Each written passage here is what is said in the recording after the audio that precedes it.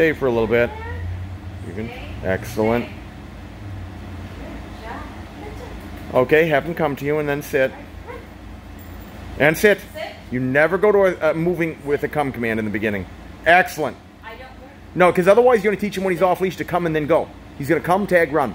You always want to make him sit, stay. But let's look at him right now versus when you walked in here and I said Lily's going to be in here. What did you say?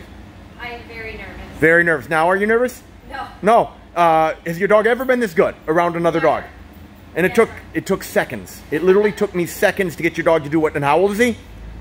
Four. Four years old. So I did in seconds, not even minutes, seconds. What you haven't done in four years, Yeah. five years. Um, this so don't, don't let yourself be nervous. We've already had the discussions about what the biggest problems are going to be, but this is what we did in seconds. Next lesson, Lily will be running around. You're doing awesome. Do you think Tony would believe any of this? No. Good, because he can look at the video when I put it on Facebook later Okay. today or tomorrow.